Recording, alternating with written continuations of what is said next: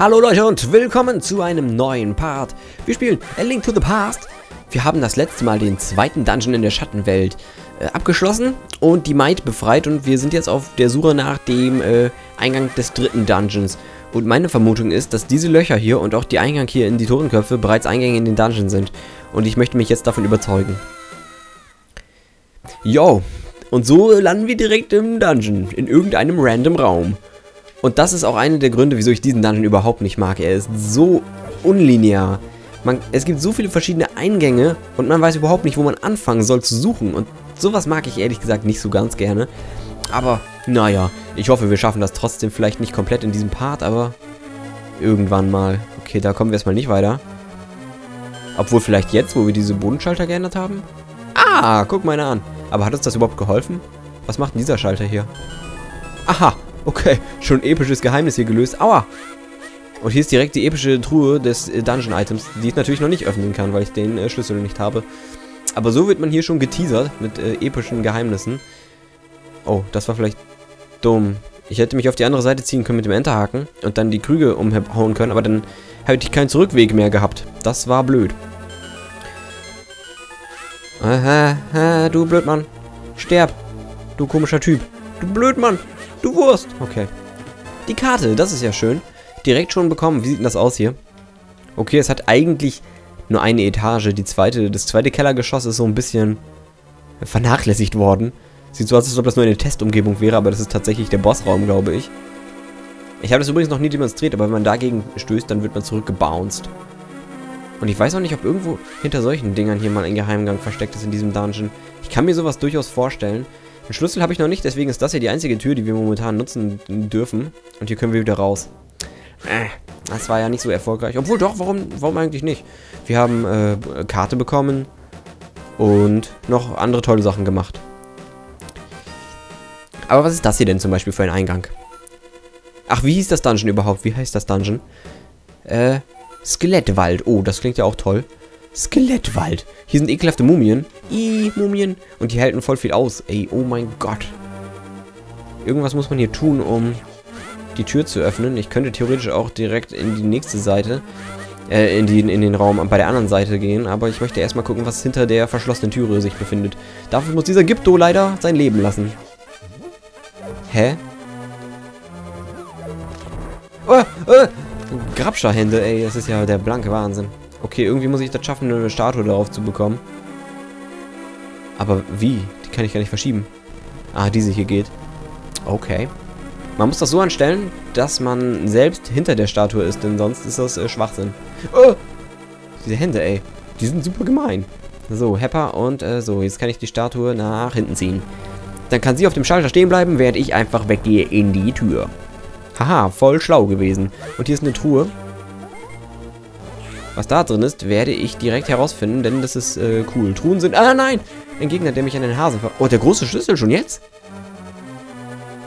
Das ist cool. Nein! Okay. Die Hasenverwandlung hat nicht sonderlich lange angehalten. Ja, wir wissen ja, wie schlimm das ist, als Hase äh, sein Dasein zu fristen. Äh, wir können theoretisch uns das Dungeon-Item schon holen. Ich bin nur überlegen, das echt schon zu machen. Warum sollte man das nicht jetzt schon machen? Holen wir uns eben schnell das Dungeon-Item, das war ja direkt nebenan. Äh, und dann äh, sollten wir vielleicht äh, voll gut schon durch den Dungeon durchkommen können. Das wäre doch richtig genial. Wir haben den großen Schlüssel, wir haben die Lo Lokation, den Ort auch genannt, von dem Dungeon-Item. Also, was kann uns noch aufhalten? Das Dungeon-Item hier ist ziemlich cool. Ein Äquivalent zu dem Feuer, äh, zu dem, zu dem Eisstab. Und jetzt habe ich schon gespoilert, was es ist. Aber egal, ihr wisst das sowieso alle schon. Oh nein, ich bin hier in einer ziemlich ungünstigen Situation. Weg mit dir und, äh, zack. So, und tschüss, stirb.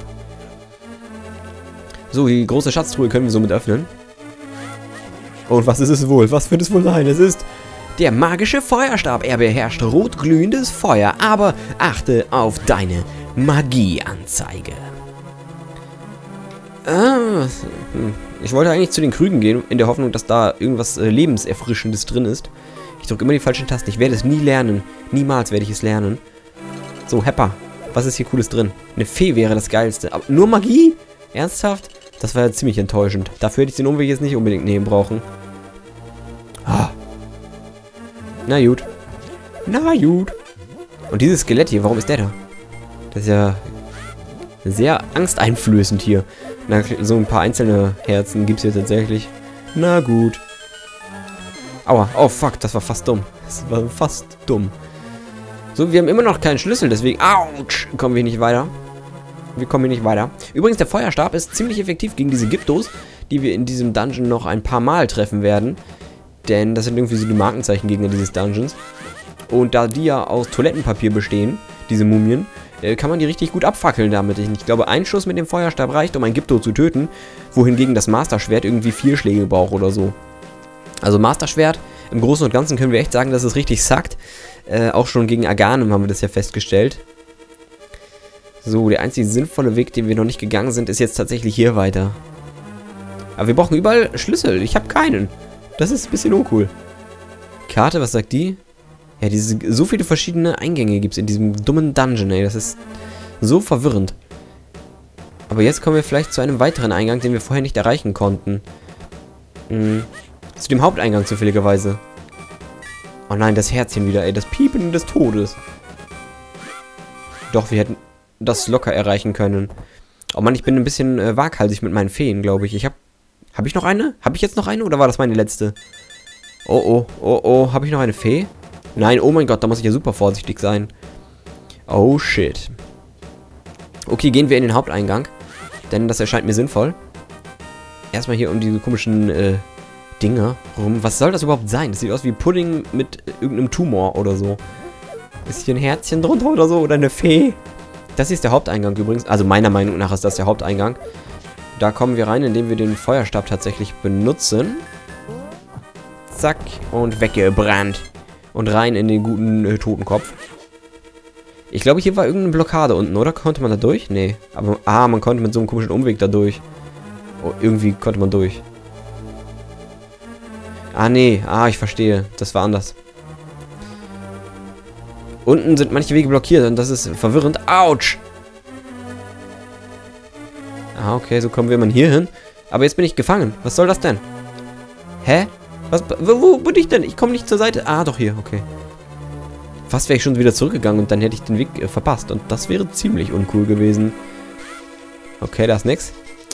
Da ist nix. Hier ist Gypto. Brenne! Burn! Ja, eine, ein, ein alleiniger Schuss von dem äh, Feuerstab reicht aus, um Gypto zu töten. Oh nein, ich bin äh, Bunny Link. Richtiges Playmate. Für den Playball kann ich mich bewerben.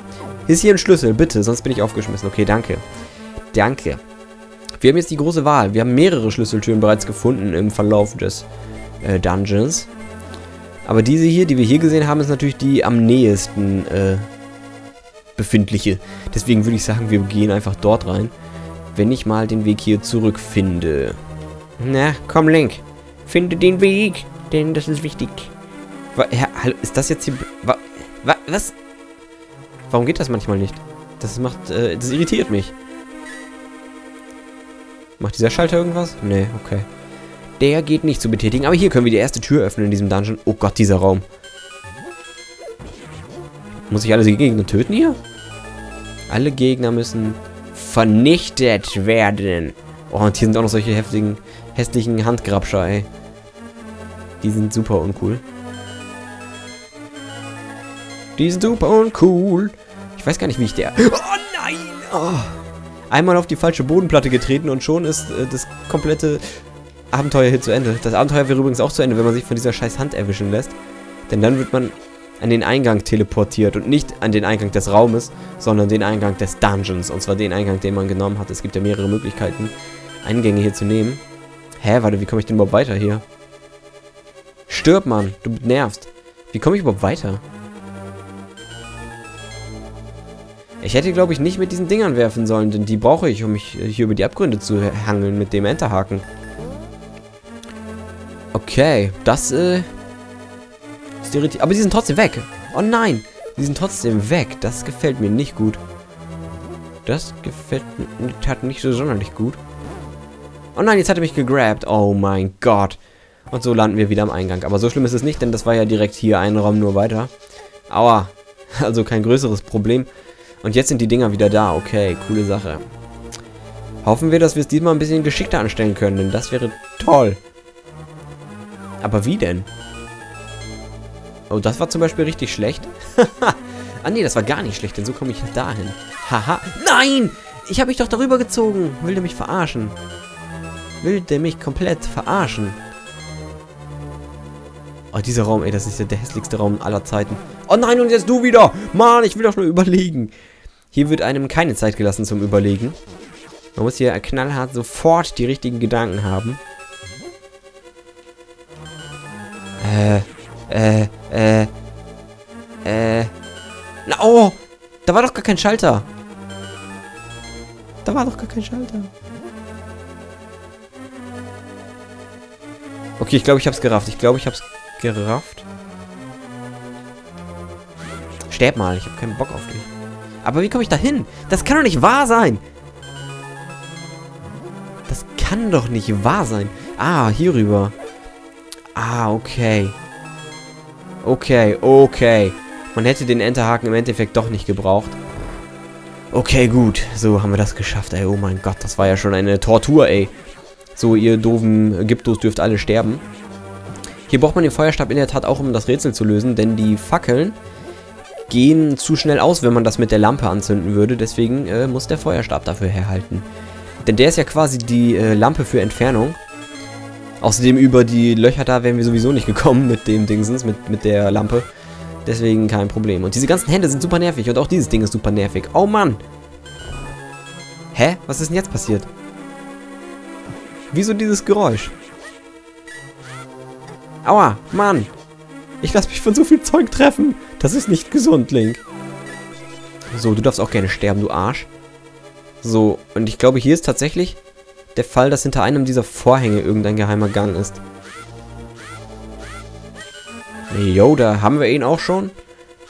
Okay, cool. Dann können wir da weitermachen.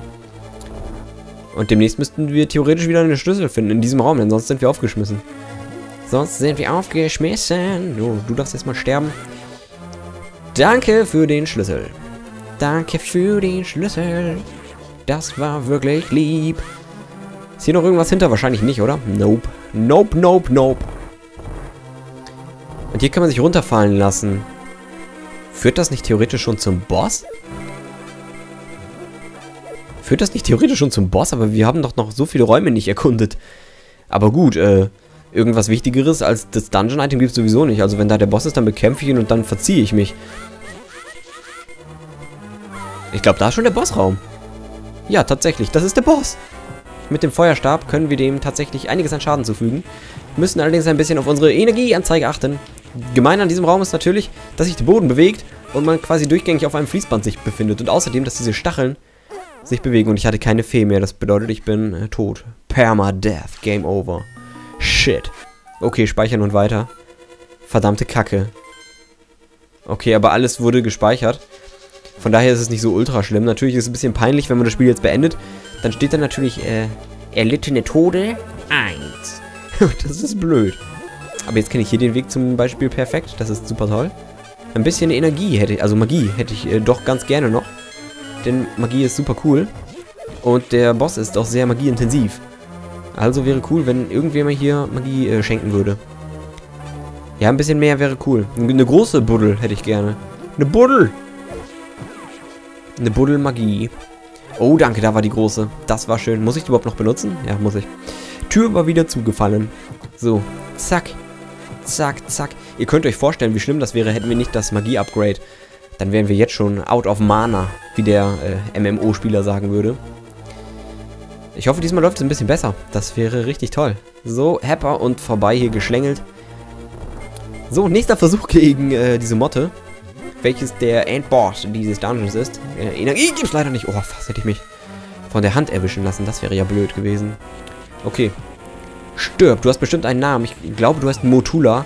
Aber da bin ich mir unsicher. Wieso bei manchen anderen Sachen auch. Oh nein. Ich bekomme viel zu viel Schaden. Das gefällt mir alles nicht gut. Aua. Verdammte Kacke. Ah, die Steuerung. Oh, what the? Ich habe nicht mehr sonderlich viel Magie.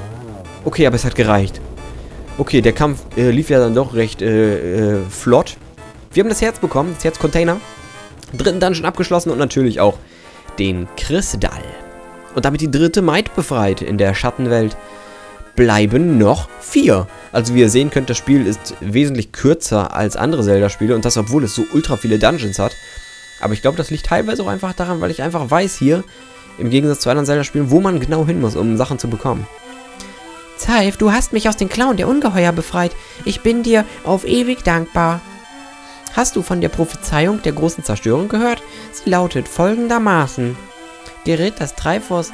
Der gerät das Triforce in die Gewalt eines dunklen Herzens, soll ein Held erscheinen. Das bin ich!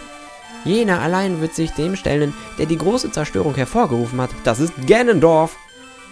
Wird der Held jedoch bezwungen, ist die Welt der Herrschaft des Bösen ausgeliefert. Das ist mir zum Glück gar nicht passiert in diesem Part.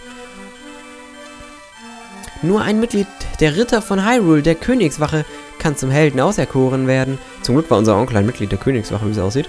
Du stammst aus ihren Ahnenreihen, nicht wahr? Dann musst du Prinzessin Zelda unter allen Umständen retten. Haha, ich habe predicted, was der nächste Textblock ist. Hast du alles verstanden? Ja, möge der Weg des Helden zum Triforce führen. Ja, richtig cool. Wir haben schon drei Dungeons der Schattenwelt befreit. Oder besiegt. Geschafft. Das nächste befindet sich im Dorf der Verbannten. Und das Upgrade, was wir dort bekommen, wird uns sehr viel weiterhelfen, um uns ein bisschen besser auf der Overworld zurechtzufinden und uns den Weg zu einigen Herzteilen und einigen Items offenbaren, glaube ich. Schaltet auch das nächste Mal wieder ein.